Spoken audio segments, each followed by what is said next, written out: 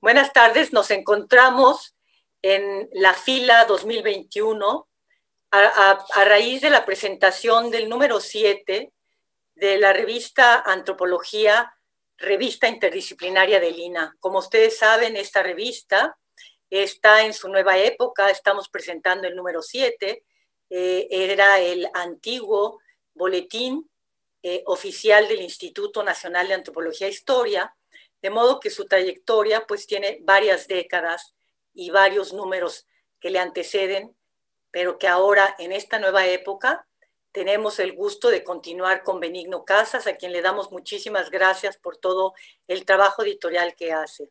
En este momento vamos a presentar un dossier que titulamos Fronteras, en donde dos de nuestros queridos colegas y amigos, miembros ambos del Instituto Nacional de Antropología e Historia, nos darán las referencias concretas del contenido de cada uno de los autores y, del, y de la problemática que estamos tratando en este número número 7, eh, en esta fil, fila 21.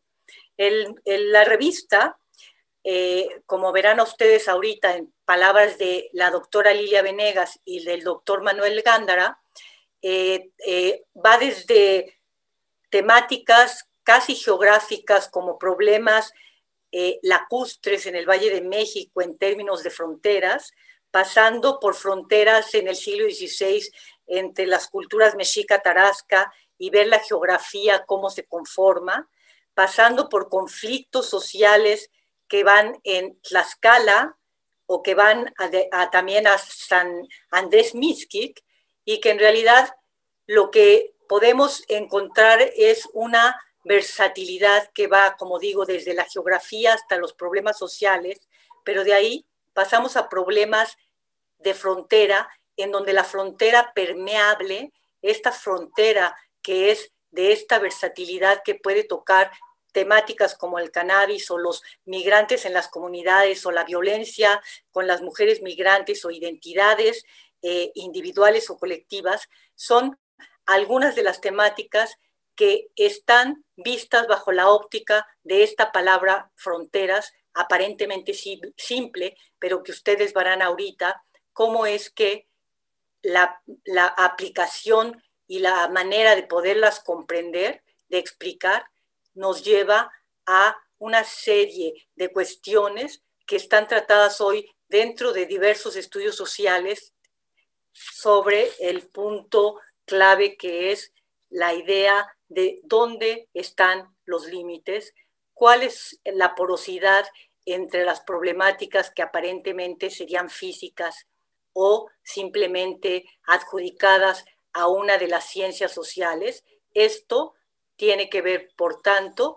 con una interdisciplinaridad en donde las fronteras participan de esta misma discusión. Pero yo sin más preámbulo voy a dar la palabra a dos de nuestros colegas, como les decía, eh, el doctor Manuel Gándara, que él es doctor en diseño y nuevas tecnologías y es doctor en antropología, seguramente varios de ustedes ya lo conocen, tiene publicaciones, numerosas publicaciones, eh, ha estudiado filosofía de la ciencia y es investigador de tiempo completo en el INA desde 1972, es arqueólogo de formación original y ha escrito artículos y textos y libros sobre teoría, arqueología, epistemología, metodología de las ciencias sociales e interacciones humano-computadora. Recientemente, él ha estado participando en trabajos de divulgación como herramientas de conservación del patrimonio cultural, que es bastante interesante también esto que él toca, y en particular mediante el uso de nuevas tecnologías. Tenemos con nosotros a un, a un doctor que tiene la posibilidad de comprender desde estas nuevas tecnologías y desde este ámbito poco racionalizado hacia las ciencias sociales una temática como la de hoy día, que es la de fronteras. Entonces, sin más, comenzamos con el doctor Manuel Gándara, eh, Manuel, tienes la palabra, por favor. Muchísimas gracias, Marcen. Eh, pues primero agradecer a los organizadores de la Feria Internacional del Libro en Antropología e Historia la invitación, también a nuestro editor Benigno Casas y al comité editorial queridísimo, nuestra revista Antropología. Este número 7, esta entrega séptima de nuestra revista interdisciplinaria, corresponde a julio-diciembre del 2019 de hecho está publicada ya hace un rato, tiene como centro el, tema de las fronteras, como tú ya eh, anunciaste. Pero desde que se propuso el tema teníamos claridad de que no debe circunscribirse a las fronteras políticas o geográficas actuales, es decir, las fronteras físicas, sino que debía abarcar otros espacios liminares, como las fronteras entre los géneros, las identidades étnicas, religiosas, lingüísticas, históricas. También las fronteras o los puntos de contacto entre disciplinas aunque en esos momentos pesaba mucho la política fronteriza de Trump y empezaban a verse sus nefastas consecuencias, pensamos que habría que ampliar la mirada para cubrir un aspecto mucho más amplio. Entender, además, a las fronteras en su dualidad eh, dialéctica, es decir, no son solo elementos limítrofes que separan, sino también es el punto de contacto entre eso que separa y lo que queda separado, pero que también son porosas, ya sea por voluntad o por transgresión. La convocatoria tuvo afortunadamente mucho éxito y hubo que tomar decisiones difíciles para elegir qué se incluiría en este número.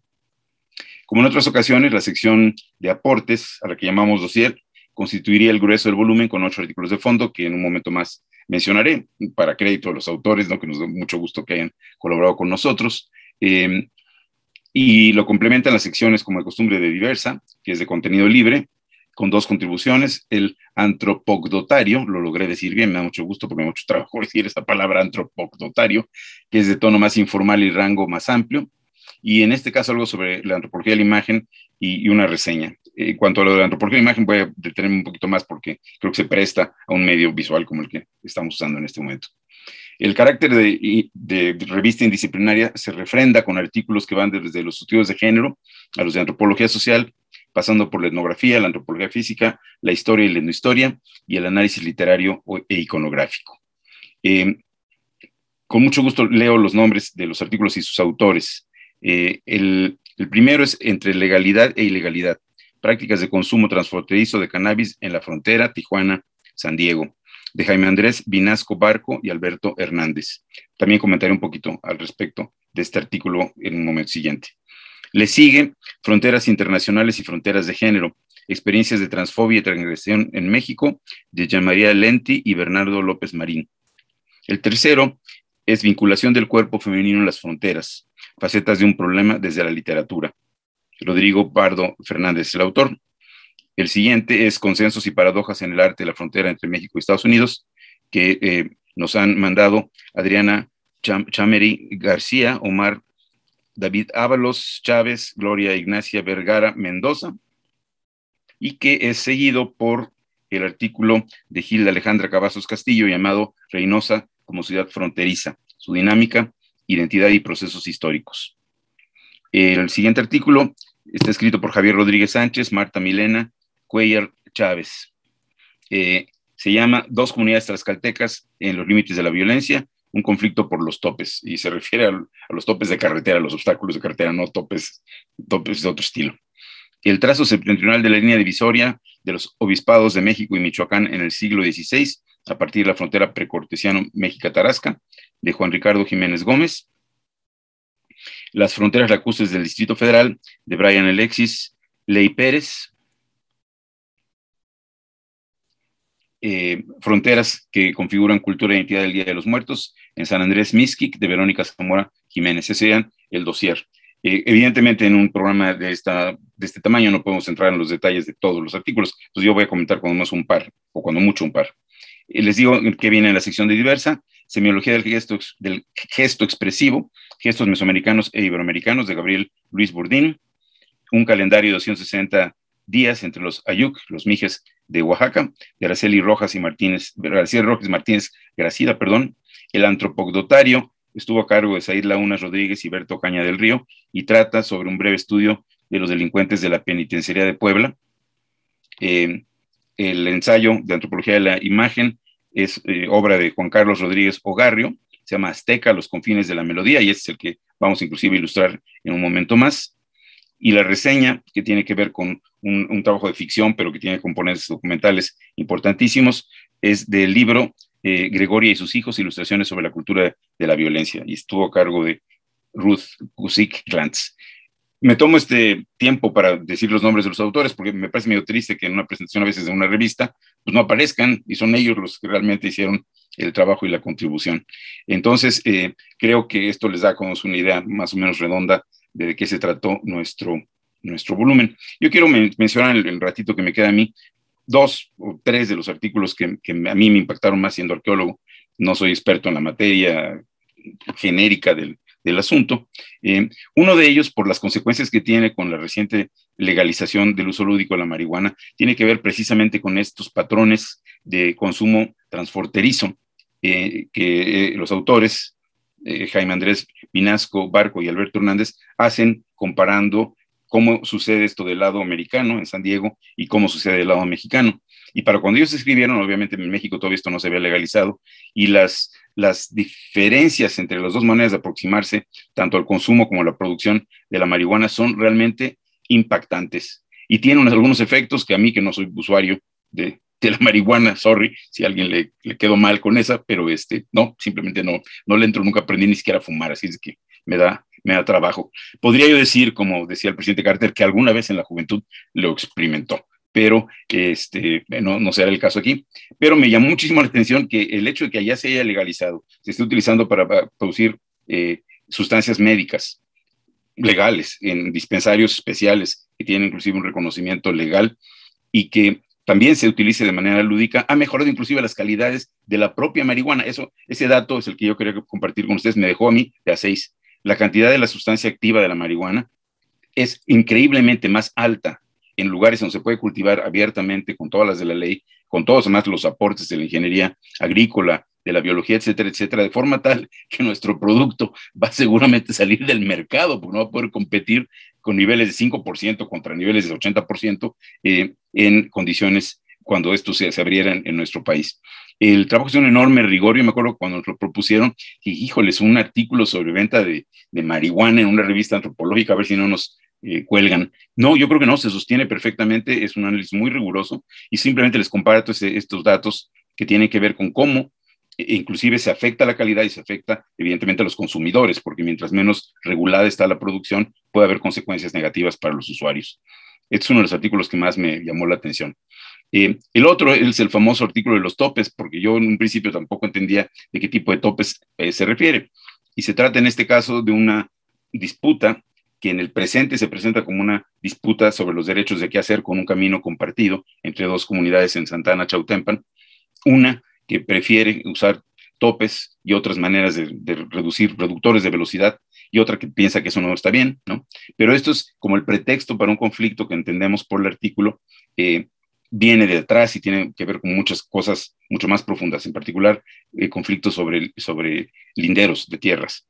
Pero se complica a raíz de la muerte de un ciclista eh, y entonces una de las comunidades culpa a la otra comunidad de que, que no hubiera reductores de velocidad es responsable de este accidente, que en realidad tuvo que ver con que el ciclista aparentemente pegó contra una piedra, o sea, no, no, no tuvo que ver con, con, otra cosa, pero esto hace que las comunidades se enfrasquen en una discusión que va escalando de tono.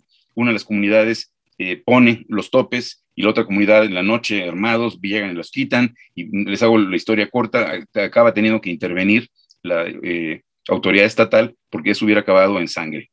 Y entonces aquí vemos cómo un conflicto pequeño se escala y cómo un asunto de límites de, jurisdicción acaba también desangrando a dos, a, dos comunidades que antes tenían una relación mucho más armoniosa. Ese era el segundo artículo que me llamó la atención. De todos, eh, obviamente la cuestión de, las personas trans, trans que vienen migrando de, Centroamérica me interesó muchísimo, por una cuestión de orden personal también, y, me podría pasar la mañana hablando de los demás artículos que conforman, este dossier, pero eh, voy a pasar a lo que les había prometido que tiene que ver con este eh, ensayo gráfico que se llama Azteca, los confines de la melodía, de Juan Carlos Ogarrio, y le pediría a Ricardo que en lo que voy a, y hablando nos pasara algunas de estas imágenes sobre las que voy a comentar, eh, que ha hecho un estudio que inició de manera más o menos eh, informal, cuando se dio cuenta que nuestra música y muchos elementos de la identidad mexicana, como sería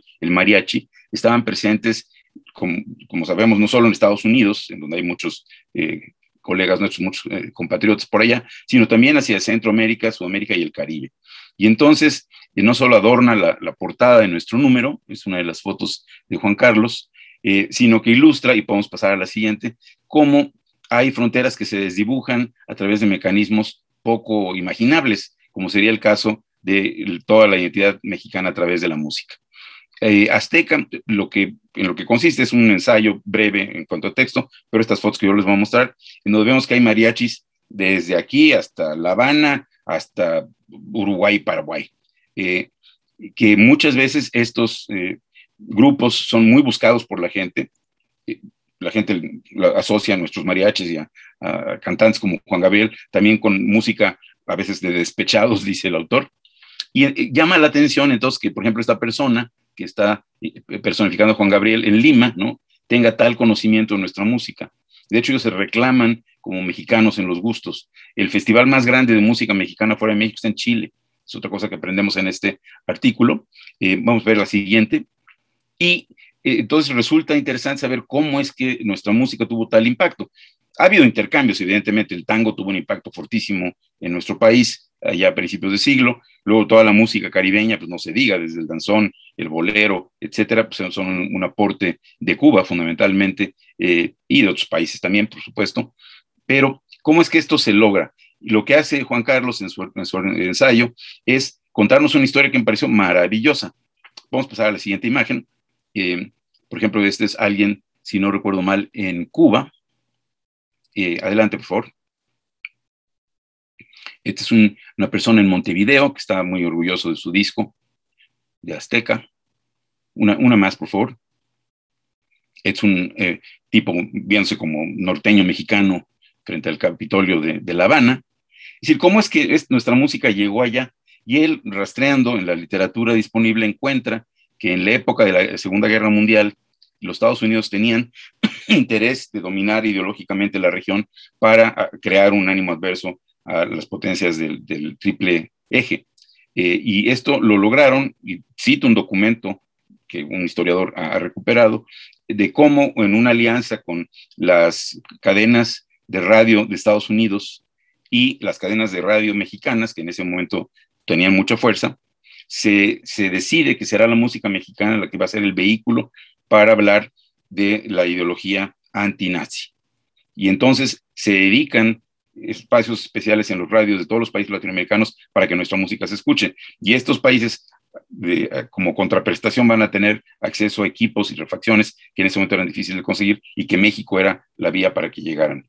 Entonces, es una explicación que a mí me dejó realmente sorprendido, porque yo pensaba que nuestra música es de gran calidad y por eso todo el mundo le gusta. Y en efecto, es música de despechados, ¿no? Ya me dejó, ya no te quiero, y me voy a matar, me voy a tirar el alcohol. Pero no, parece ser que había otros elementos que para mí son una sorpresa. Y curiosamente, aunque esto está fuera de, pues, la sección de dossier de nuestra revista, a mí me parece sensacional porque está viendo presente cómo estas fronteras son porosas. Entonces yo me congratulo y congratulo a todo nuestro querido, exacto, una más, por favor, eh, comité editorial, porque creo que este número es muy redondo, los artículos son de una gran calidad y bueno, me despido con, creo que queda otra por ahí todavía y una más. Web Sombras, ¿no? en una, una venta de discos usados allá en Lima. Esto es eh, Cuba, con unos charros y unos norteños que, pues sí, parecen, ¿no? De veras. Creo que esta es la última, es un tendajón en donde está pasando a comer, algo, un mariachi en Colombia, en donde el, el, mariachi es muy fuerte. Y para mí esto muestra, es la última, se llama este, Trump espinado. Trump se le ocurrió subirse a la parte equivocada del, del, del maguey, eh, y ahí lo vemos sufriendo, que me parece muy acorde con la, con la mentalidad mexicana, la picardía mexicana. Nada, es que esto es Cuba, es un, es un mural ahí popular que alguien pintó. Entonces me parece que lo que hace Juan Carlos, además de documentar gráficamente esto, dice que tiene otros aspectos de la mexicanidad en todos estos países, eh, nos muestra precisamente esta, esta volatilidad de las fronteras ante fenómenos tan importantes como la música popular. Entonces, ya yo me congratulo como miembro del comité editorial y como INA de que nuestra revista siga siendo vanguardia en muchas cosas. Yo creo que ese es un número que lo expresa de manera magnífica. Muchas gracias.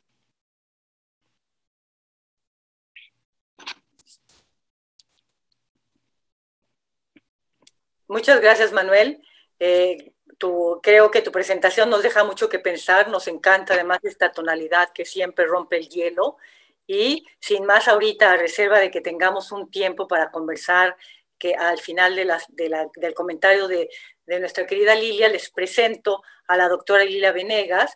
Ella es, eh, viene del universo de la economía, de la maestría y licenciatura en economía, eh, es practicante de tiempo completo y dinámica investigadora en trabajos de campo en diversas temáticas, pero que siempre desde muy temprano son temáticas que apuntaron hacia asuntos de género. Este género, este, este tema en sí mismo toca directamente problemáticas que inevitablemente llevan asuntos de fronteras, pero además Lilia Venegas ha trabajado temáticas específicas sobre la frontera norte de México. Ahorita eh, veremos algunas de ellas vertidas en los comentarios que nos da. Ella es doctora en historia por la Universidad de Ámsterdam. Eh, su trabajo sobre las mujeres del Partido Acción Nacional es justamente género y militancia en la región fronteriza del norte de México en los años 80, de 82 a 92. Creo que sin más le damos la palabra a Lilia Venegas, quien nos va a hacer favor también de comentar este, este número 7, este número de la revista de Fronteras, que es el número 7. Gracias, Lilia, por estar con nosotros. Pues muchas gracias, Marcela, por esa presentación y por supuesto gracias por esta oportunidad para bucear en este número 7, que francamente a mí me parece, como dice Manuel, redondo, pero además francamente muy gratificante de leer, muy interesante y, diría yo que aquí viene muy bien felicitar a la revista, al equipo completo, al editor Benigno Casas y a todos los que el equipo que uno sabe que hay atrás para que salga un número así, ¿no? Un número tan bien hecho. Diría que hay una curaduría, claro, también la respuesta de la gente que los autores que enviaron sus trabajos y los trabajaron para que salieran también, pero quisiera subrayarlo de cierta curaduría en la revista porque tomaron una noción, que es este concepto, noción de frontera, y lo trabajaron muy bien. Entonces, diría yo que, pues sí, el asunto de la frontera como una noción o como un concepto, pues tiene algún rato de estársele dando vueltas y así, pero en este número tenemos la posibilidad de explorar como eh, el jugo que, que, se le puede sacar o las distintas, em, digamos, eh, facetas que nos permite una noción, o sea, una noción tan compleja, tan rica y que está maravillosamente tratado, creo yo, en todos los trabajos. No hay casi ninguno que yo diga, no, pues este no me interesó. Digo, la verdad, todos, todos son buenos. Eh, en efecto, la sección de diversa, el, el lo de la imagen y la reseña misma que nos presentan de Gregoria y sus hijos, o sea, todos los artículos valen la pena y creo que, pues de verdad, agradezco y felicito este, al equipo que está atrás de este número Siete, número cabalístico también maravilloso.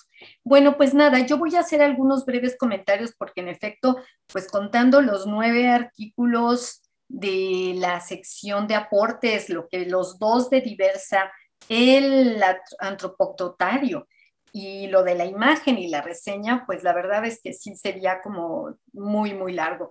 Entonces, pero también a la vez no quisiera como dejar eh, fuera algo. Entonces voy a tratar más bien de correr y, tocar algunos de los puntos, pero eh, tratando sí de abarcar por lo menos alguna opinión muy, muy breve de cada, de cada uno de ellos. Miren, sobre el tema del cannabis, como también dice Manuel Gándara, muy, muy bien, es un artículo que es muy oportuno, que cuando lo leí justamente estaba eh, pues en este, eh, en este punto de que se estaba eh, pasando a ser legal el, consumo, producción y uso de la, de la marihuana.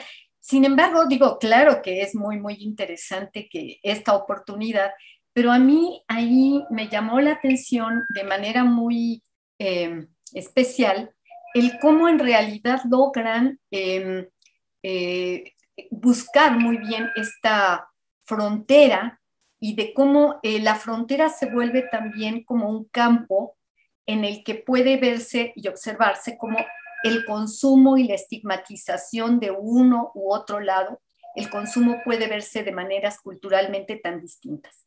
Entonces, a mí este tema francamente me, me interesa, me interesa mucho, porque eh, ahora, justo que ya está esta legalización del uso y producción de la marihuana, pues tendremos también que ver, nos abre la puerta, nos abre otro umbral para ver si este, eh, esta estigmatización de los consumidores del lado mexicano, que no se da desde el lado americano, va a borrarse también o qué va a pasar. O sea, eh, esto creo que es un tema que seguirá en la agenda y el artículo, además de todo lo interesante que es, pues nos está también abriendo un problema.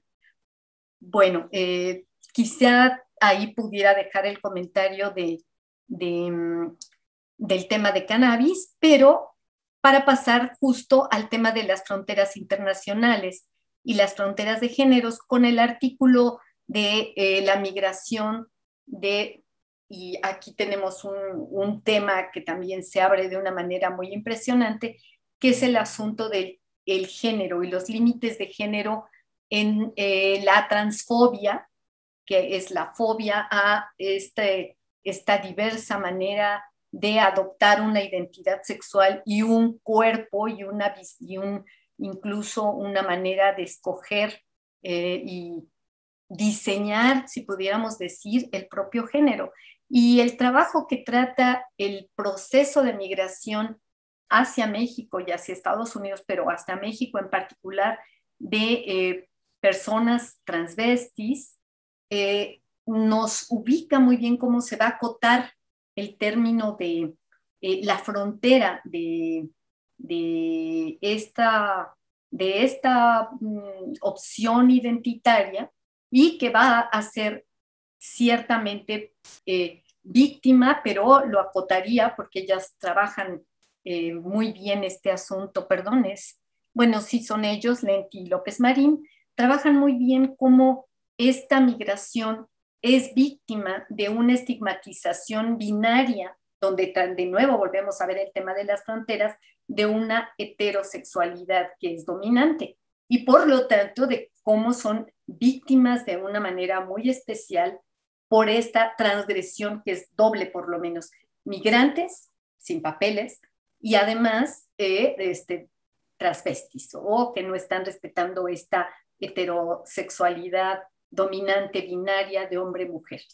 Sin embargo, decía yo, respeta mucho, em, implica este, también eh, la transgresión. Y entonces esto es algo que vamos a ver en, varios de los trabajos eh, en los que es imposible eh, dejar a un lado la noción de frontera. Me parece que eh, algunos de los ejes que podemos seguir en, esta, en este número 7 tiene que ver con el territorio, sea, este tema de la frontera, la migración o las fronteras territoriales o lacustres, como ya nos explicaba muy bien Marcela también al inicio, pero que también tienen una dimensión simbólica, una dimensión ritual, una dimensión identitaria o de prácticas. Y esto lo vamos a ir viendo en, los distintos eh, artículos que, fueron entregados para este número 7.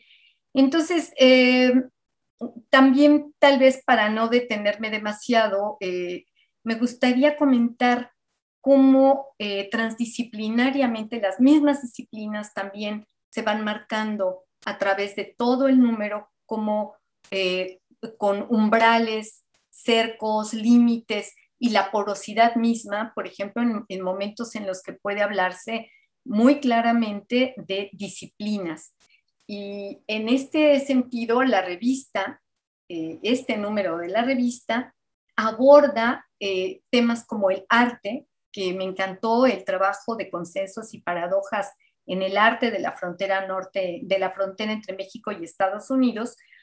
Eh, también está presente la literatura y e incluso el tema de la fotografía, aunque el artículo del que nos comentó Manuel eh, en realidad se aboca al tema de la música, pero que la imagen creo que igual podría tener un discurso, una narrativa que de entrada ya nos, eh, nos llama la atención, como ustedes todos pudieron ver en estas imágenes que pudimos ver. Entonces, em, bien, pues un poco eh, deteniéndome en este asunto de, del arte, eh, los ejemplos son el de, la, el de tres instalaciones que abordan o que analizan Adriana Chamerí y Gloria Ignacia Vergara, y que son sumamente interesantes porque además, entre otras cosas, introducen una manera de ver el arte de manera eh, pues muy eh, que complejiza el hacer eh, en la frontera. En este sentido, yo vería, solamente traería el ejemplo de una instalación que consistió en darle continuidad a un paréntesis que se abrió hacia 1819 o algo así, que es cuando se forman o se diseñan, se delinean frontera entre el México, que empezaba a ser independiente todavía en la guerra de independencia, y Estados Unidos. Se queda suspendido porque la producción de esta, de esta línea fronteriza eh, queda solamente en un tratado y eh, un artista, uno de los proyectos que ellas tratan, decide dar continuidad y seguir esta línea fronteriza que debiera haber pasado supuestamente por límites eh, geográficos como el río Arkansas y tal. Y ellos hacen este, este recorrido. Lo van a presentar en videos, en fotos, en imágenes, y lo que nos hace ver es cómo eh, este arte conceptual, porque está planteado entre un, eh, entre un arte visual de paisaje, el land art, y un poco el, arte conceptual, nos hace ver cómo este arte conceptual que de repente es tan complicado de entender y sobre todo de disfrutar a veces, resulta sumamente atractivo porque nos explica muy claramente cómo hace ver lo que de otro modo no hubiéramos podido ver, que es cómo se delinean fronteras y desde esta perspectiva. Y bueno, también está eh, las otras dos instalaciones que son muy, muy ricas y que eh, me voy un poco hacia adelante para, em, para no dedicarle tanto tiempo, porque creo que, que ya es mucho. Mm, el tema de Reynosa como una ciudad fronteriza, creo que lo que nos hace ciertamente es volver a subrayar algo que parece como muy paradójico, que es que son ciudades que tienen desarrollos económicos muy interesantes, dinámicos, activos, y que por el otro lado van manteniendo siempre un rezago con una frontera entre un desarrollo económico, industrial, modernizado y un espacio con rezago de servicios públicos y una periferia que hace como las mismas fronteras entre las mismas, adentro de las mismas ciudades. No voy a hablar mucho más sobre eh, los tlaxcaltecas, el tema de los topes, pero simplemente querría ahí subrayar que de nuevo tenemos esta continuidad en el tiempo de, eh, de cómo hay, un, hay conflictos que son intestinos y cómo se pueden explicar eh, que este constante enfrentamiento de identidades y de grupos, tal vez aquí el, lo que nos platican de los topes maravillosos, bueno, no maravillosos, tremendos, uno puede, no sé, realmente correr peligro con estos topes tan grandes, pero que en verdad lo que estaban haciendo a lo que se está eh, tratando de entender es cómo hay, eh, qué otros actores también sociales, las autoridades, la iglesia misma, las comunidades, entran en este permanente distinción en quién es parte de esta comunidad y quién no es parte de esta comunidad y a raíz de qué. Y un conflicto permanente en el que el carcicazgo, que por ejemplo parecerían fenómenos más bien dejados atrás, pues nada, es un fenómeno constante. Em, el trabajo, los trabajos que se presentan aquí por lo demás juegan maravillosamente con el tiempo y con las fronteras también temporales, de manera que nos podemos ir al siglo XIX eh, con la los delimitación de las fronteras de, en, el Distrito Federal, pero también eh, en el tema mucho más, mucho, ah, bueno, anterior, que es el tema de la delimitación entre México y Michoacán en el siglo XVI. Y aquí lo que me gustaría subrayar es simplemente cómo la frontera, estas fronteras territoriales que aparecen en los mapas, ¿no? Eh, pues pueden eh, muy bien siempre referirse como a un pasado y, a, tomar como los antecedentes y donde se van a ir configurando muy distintos modos de acercarse a, esta cartografía. El trazo de, de, las fronteras que figuran la cultura y la identidad en el tema de el Día de los Muertos de San Andrés Mixquic es, eh, pues para mí, eh, prueba también de cómo a la hora de que se armó este número, la muerte, la muerte como este fenómeno de, ceremonia tan presente, tan ineludible y que hoy además parece cobrar otra dimensión en, tiempos de pandemia, pues justo es como con lo que cierra esta, esta sección, digamos, de, la, de los aportes, abordando eh, la, festividad, pero claro, ellas dicen, no, esto no es una fiesta, es una ceremonia de recordar a los muertos en Miskik, pero el artículo es sensacional porque nos permite también ir viendo cómo hay fronteras interiores entre eh, justo eh, la comunidad,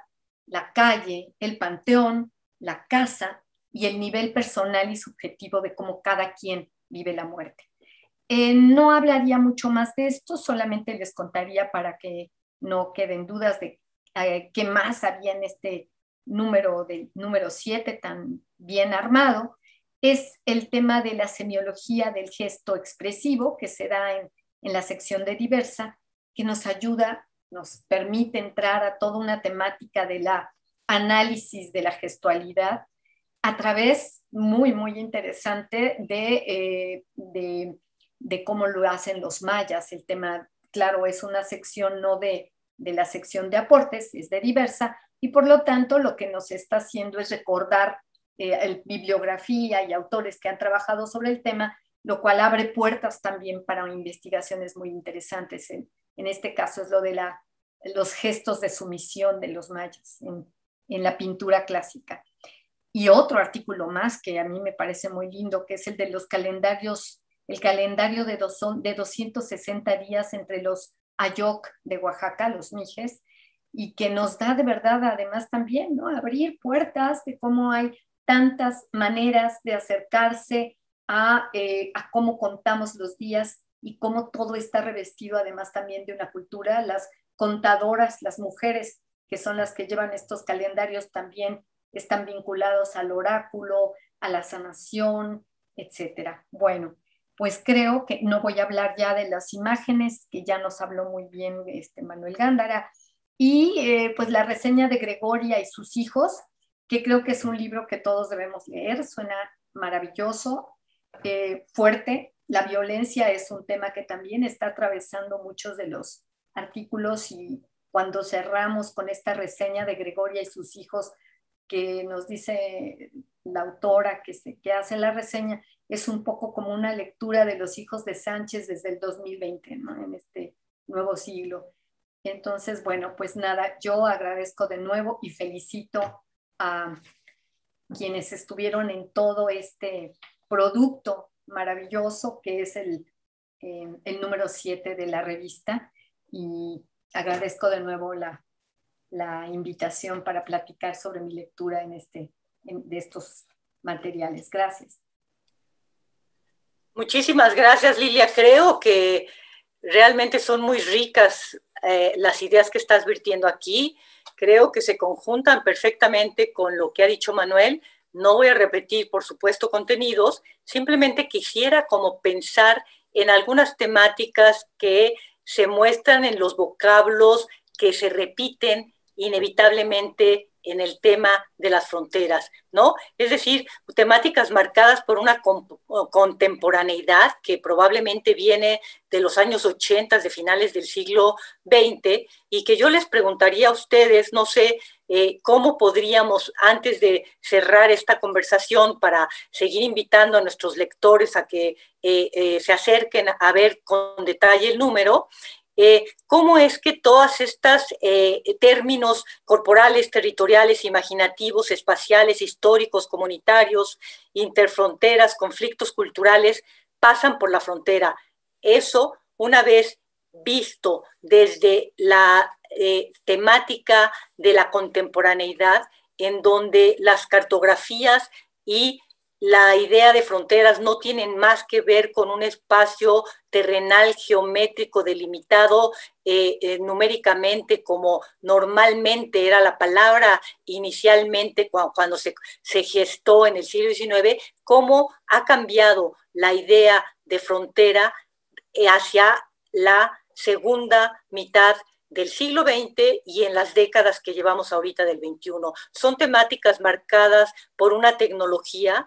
Hay una relación entre estas preguntas que están haciendo eh, eh, varias personas especializadas en el sistema comunicativo contemporáneo marcado por los medios de comunicación, en donde el tiempo y el espacio pierden sus referentes anteriores. Es decir, esta nueva eh, semántica está marcada, ¿qué tanto podemos pensar en que en todas esta nuevas, esta nueva, eh, nuevas connotaciones de esta semántica está marcada por esta temática de contemporaneidad relacionada con los sistemas comunicativos y con las redes sociales. ¿Cómo ven? ¿Creen que por allí tendríamos material para pensar el deslizamiento de la palabra fronteras en todas estas interinstitucionalidades y versatilidad a la que ustedes se han referido? ¿Quieres sentarle tú primero, Lilia? Gracias, este Manuel. Pues eh, sí, sí, me parece bien. Claro que sí, yo creo que tienes mucha razón, eh, Marcela. Prácticamente creo que agota, señalas muy bien todas estas dimensiones por las que uno puede entrar eh, y observar cuando la noción de, frontera se pone en juego, ¿no? Como si fuera, ¿y aquí dónde está la frontera? Y ese aquí dónde está la frontera, dónde está el límite, qué permite, qué queda de un lado, qué queda de otro, o, cuáles son las porosidades o los tránsitos, ¿no? Como también eh, podría pensarse que también hay caminos de tránsito, ¿no? Ni lo uno ni lo otro, eh, como diría Turner. Eh, justo es lo que señalas. Ahora el tema es que es como que lo bien que puede ser tratado un término así, una noción de estas, porque es como aplicar un cuestionario en el que la frontera o, el, umbral o la delimitación o el tránsito o el aquí pasas, aquí no pasas, nos ayuda a ver de otro modo lo social y nos permite como multiplicar capas, digamos, de, interpretación. Esto es lo que a mí se me ocurre a partir de tu comentario. Muy provocador el comentario de Marce. Eh, a mí me, gustaría verlo en, el terreno de la globalización, porque precisamente esta globalización impulsada por estos medios de comunicación que tú señalabas es la responsable de que muchas fronteras se, se hayan desdibujado. Me acuerdo cuando empezaron las ventas por Internet, que todos los gobiernos no sabían qué hacer porque tú no pagabas impuestos realmente en el país en el que estabas ejerciendo tu dinero, ¿no? Hubo que hacer un montón de cosas para, para regular esto. Me recuerdo un comentario de uno de los genios de los multimedios y de todo este asunto que era Nicolás Negroponte, el fundador del Media Lab del MIT, cuando una vez pasando hacia, hacia Canadá, él era canadiense, cruza la frontera con Canadá y le dicen que si tiene algo que declarar, y sí, sí, esta computadora vale aproximadamente unos 250 mil dólares y, la aduanera le dice, oiga, pues como si mi hija tiene un igual, estas cuestan 900 dólares, ¿no? Dice, ah, bueno, pues póngale 900 dólares, ¿no? Y ya pasa porque estaba dentro del límite. Dentro de, esa computadora había eh, patentes, secretos industriales por más de 250 mil dólares. Pero eso no, no tiene una tangibilidad de las que las fronteras viejas estaban acostumbradas. Entonces ahí hay un elemento que tiene que ver con la globalización. Y el otro a nivel político, que acabamos de ver estallar en cierto sentido, pues es, la comunidad europea. Cuando uno ve Europa, la idea de fronteras se fue. Yo me, la primera vez que ya con esta nueva Europa me tocó cruzar de un país a otro, yo decía, es que alguien me va a venir a parar. No, no, ya no hay frontera, ¿no? Y ahora pues el Brexit le dio un, le dio un llegue. O sea, tenemos una situación que yo creo que haces bien en señalar eh, como importante, Marce. Eh, quizá eso hubiera sido interesante que, como nos queríamos separar de las fronteras políticas, tal vez no le dimos tanta promoción, pero hubiera sido interesante tocarlo ahora que lo veo en el número. Bueno, bueno sí, podríamos haber eh, introducido un, un, artículo así, que por cierto llegó uno, pero lamentablemente era demasiado breve, eh, con muy pocas referencias, lamentablemente no fue aceptado. Pero creo que esto que señalaba Lilia sobre las subjetividades y las elecciones corporales también tiene que ver con esto que tú estás manejando, ¿no, Manuel? Es decir, hoy día puedes prender la computadora y resulta que tú te presentas como transvesti o te presentas como lo que gustes y mandes y tienes la experiencia, saliendo de esta experiencia en la computadora, vas a saludar a tus hijos y vas a comer con tu esposa. Es decir, cómo podemos entender estas, estas fronteras en donde todos nos hemos vuelto ojos de moscas, pero también el espacio. Por eso creo que la palabra subjetividades a la que estaba refiriendo Lili, asociada con la idea de elecciones corporales, cuando refería a la semiología del gesto, es una temática muy interesante para poder pensar. Y creo que sí, definitivamente está la, pérdida de referentes tradicionales, no sé si es una pérdida o una ganancia, pero sí es una diferencia de la pérdida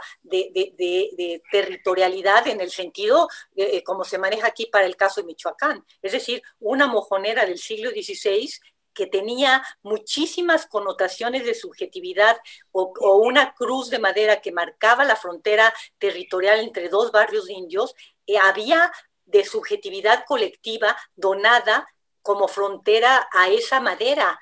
Y eso era lo que los marcaba como físicamente, pero en realidad si nos ponemos a ver la distancia que hay entre el antiguo régimen y ese concepto de frontera y todo lo que implicó en el siglo XIX la decimalización del espacio y hoy volvemos o retomamos una manera de comprender el mundo tradicional es decir, es un mundo tradicional que revive, ¿qué es lo que está pasando con esta recreación del espacio? No deberíamos de recurrir a una historia pasada para ver cómo aquellas colectividades tenían espacios subjetivos ya marcados. No sé, es decir, creo que, que, la problemática de la, de la palabra frontera, viéndola en sí mismo, la palabra frontera como históricamente, nos prometen problemas verdaderamente interesantes en donde creo que Manuel tendría muchísimo que decir por ser especialista en todo lo que tiene que ver con el sistema de redes, ¿no? Con todo el sistema computacional y con lo que, hace Internet en nuestras mentes. Digo, eh, tenemos aquí a un súper experto en eso y de allí mi inquietud de que Manuel participe un poco en esto y que Lilia nos, nos complemente con la idea de subjetividades elecciones corporales y sobre todo con la idea de género en términos del trabajo que has manejado, cómo podríamos pensar esta problemática. ¿Cómo ven? Y si quieren, con eso ya cerramos. Cerramos. Entonces, un comentario rápido. A mí me impresionó mucho un libro, un libro de una mujer que se llama Sherry Turkle, también del MIT, y que se llama La vida detrás de la pantalla. Y estoy hablando de un libro de 1994, si no estoy recordando mal, cuando empezaban los chats en Internet, pero todavía no podías ver a la otra persona. Y entonces lo que hacía mucha gente es que se metía a chats especializados, porque había de todo estilo, ¿no? Para ver cómo era el otro lado. Entonces, mujeres que se metían a los chats de hombres para ver cómo los hombres nos referimos a las mujeres en ciertos contextos, ¿no? Eh, hombres eh, que no eran gay, que se metían a, lugares gay, ¿no? todas las combinaciones posibles. Y cómo esto permitió antes de la llegada de las cámaras, eh, o su generalización por el ancho de banda, permitía que la gente explorara maneras de ser. Inclusive algunos reportan cambios importantísimos porque su propia visión de sí mismos, a la hora de decir, bueno, es que esta identidad que yo asumía subjetivamente como mi identidad, realmente no me caracteriza. Ahora que conozco a esta gente, pues me siento mucho más cercano a ellos, ¿no?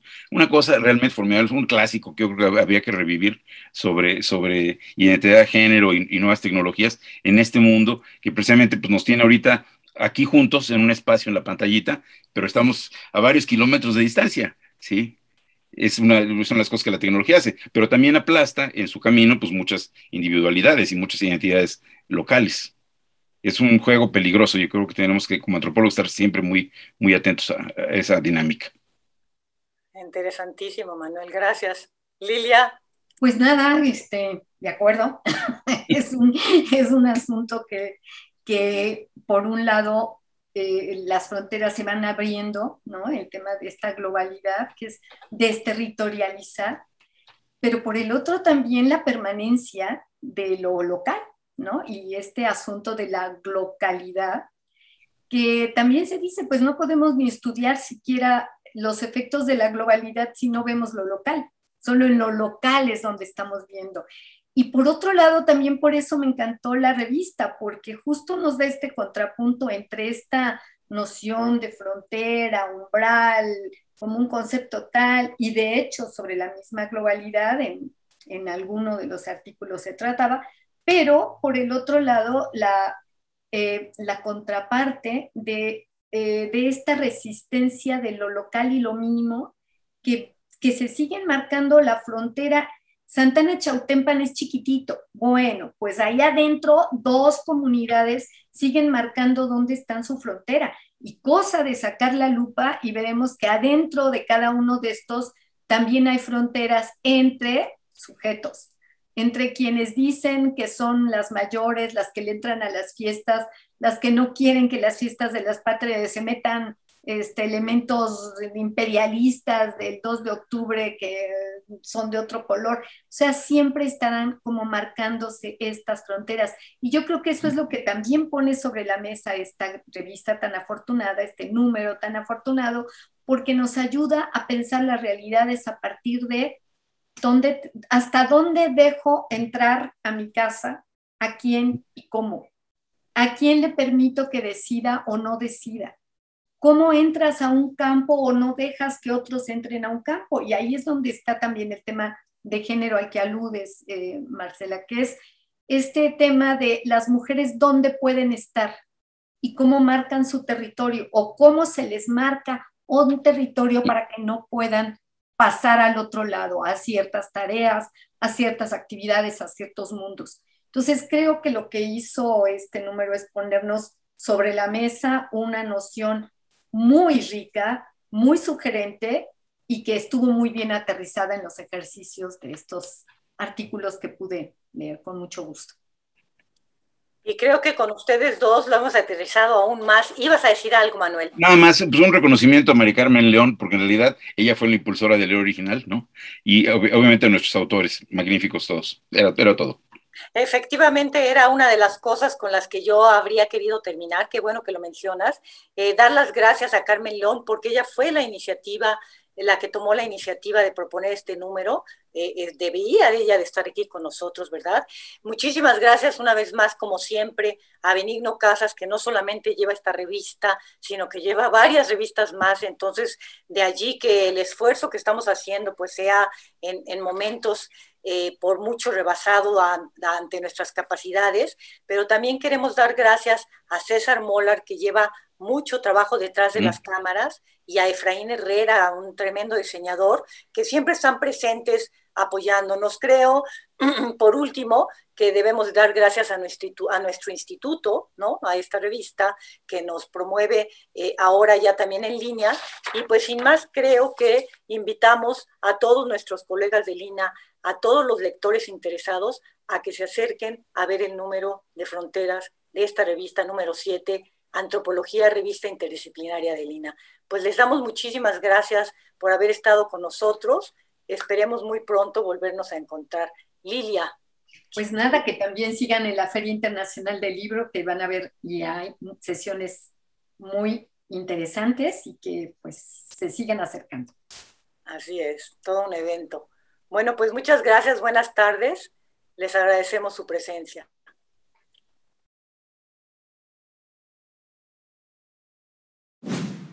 Gobierno de México.